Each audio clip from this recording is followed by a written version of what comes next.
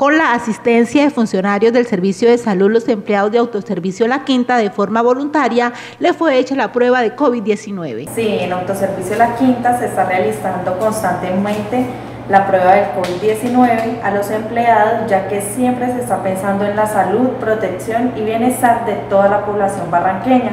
Además de esto, estamos utilizando todos los elementos de bioseguridad que nos permiten evitar factores de riesgo. Con esta actuación, las directivas y empleados de Autoservicios La Quinta garantizan con estos protocolos un servicio de bioseguridad en cada uno de sus supermercados.